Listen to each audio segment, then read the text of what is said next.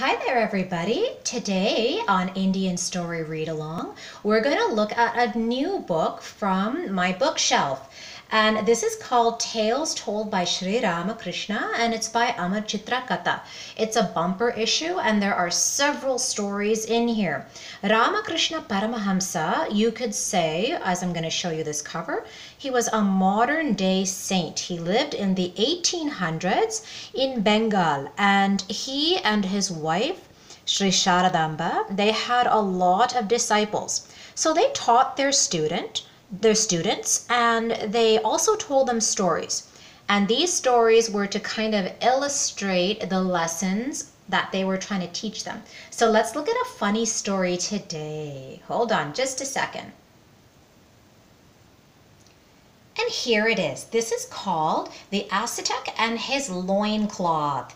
A loincloth is like a olden days underwear. So you see these two sannyasis, these two, you can call them hermits or recluses, they would sit there and do tapas, penance, all day long. And they would be sitting there. The only possession they were to have was their loincloth. And that was just for modesty's sake. And so they would have one that they would wear and then they would be washing the other one and hanging it up to dry. That's a very important part of our story. So let's take a look. The ascetic and his loincloth. In a forest near a village, there lived a guru and his disciple who spent all their time in prayer and meditation. And you, so you see them near that hut over there. Then one day, Guru says to his student, My son, I have to leave you for a while. I am going on a pilgrimage. A pilgrimage means that he is going on like a religious trip where he might see a lot of temples or he might do meditation in lots of different places. The Guru says, Remember all that I have taught you, and above all, lead a simple life. And then the student bows down to him, he does namaskaram and says, I will, Gurudev. And the Guru left. One morning, as usual, the ascetic washed his spare loincloth and hung it out to dry. So then he's thinking, I will now go to the village to beg for alms. So alms means that he would um, beg for food. That's what all ascetics would do. Part of their practice is they should not know where their next meal is coming from. And so every day they would go out and they would try to get just enough food to last them for that day, no more. And usually people were nice enough and kind enough to give them what they needed. So there he is receiving that food and he's saying to this lady, May God bless you for your kindness. Later, when the ascetic returned to his hut, he's seeing a mice a mouse run off with something and he says, Hey, that looks like a piece of my loincloth. It is. The rats have torn it to shreds. I will have to beg for another. So the next day at the village, he's going begging for alms and then he says, Mother, I need a loincloth. Can you spare me one? And she says, A loincloth? Meanwhile, you can see over there in the corner, her husband there is watching. The ascetic says, The rats got at mine and tore it up. I need another. And the man says, I have a new one. I'll give it to you. The man went in and came back with it. And he says, Here you are, holy sage. The next morning, there he goes. Today I'll hang my cloth high up here on the roof, he's thinking. But that afternoon, oh no, the rats have torn up this one too. I'll have to get myself a cat. So the ascetic got himself a cat, and soon the rats stopped troubling him.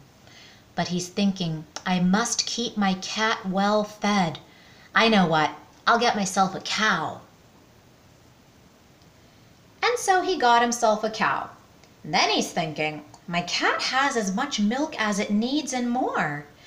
Hmm, but I need straw to feed my cow. How shall I go about getting that? I could cultivate the land around my hut, and when the grain is harvested, I'll have all the straw my cow would need. Do you see what's happening here? The ascetic is only supposed to have a small place to live for shelter and one loincloth, and that's it, the most basic needs in his life. But now he's starting to accumulate a lot of stuff. Accordingly, the ascetic began to till the land around his hut. Soon, he's thinking, what a fine crop I have harvested the straw my cow will have, but what shall I do with the grain? I'll need a barn to store it in. so the ascetic hired laborers to build barns for him. And so there's this guy standing on the ladder and he's asking, Sir, is this all right? And the ascetic said, No, no, make it taller. There's plenty of grain to be stored. Did you see one word? Barns, not just one. He's building a lot of barns for all the grain that he has. So he's going to be quite rich soon. And here we go. The ascetic had now become a landlord kind of without even trying. Do you notice some things in the background there? So he has somebody who's doing planting some things for him right there. He not only has one cow, he's got three of them in that stable there. He has another guy holding an umbrella for him. He has a huge house. Wow. And now he's thinking, I need a wife to help me manage all this. I think I will marry. That's the last thing an ascetic or a sannyasi should be doing. If he does that, he is no longer a sannyasi. But I mean, I think that already happened. He's forgotten about all of that already. And we were right. No more sannyasi life for him. The cat has had some kittens. There's a newborn baby there. There's a toddler there. There's his beautiful wife. There's his luxurious bedroom. Wow, he's got everything going now. But then, one fine day, the Guru returned from his pilgrimage, and he's confused. Am, am I on the right road? Where is my disciple's little hut? Has some rich man driven my poor disciple away and built his estate here? When a servant came out of the house, the Guru went up to him my good man, says the Guru, an, ascetic used to live here once. Do you know where he is now? And there's the servant uh, not knowing what to say. Uh, er, uh, he. Just then, the servant's master himself came out. My lord, you!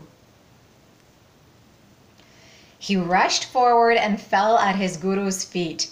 The guru is super confused. My son, what is all this? I left you leading the simple life of an ascetic. I've returned to find you surrounded by wealth and possessions? How did this happen? And he says, Oh, Gurudev, it all began with a single loincloth. Can you imagine all this from underwear? To protect it from the rats, I needed a cat, and then there was no end to my needs. Forgive me, Gurudev. So this is the end of this story. So tell me, is this story saying that having lots of stuff is bad? Is it bad to have a house and children and someone to spend your life with and pets?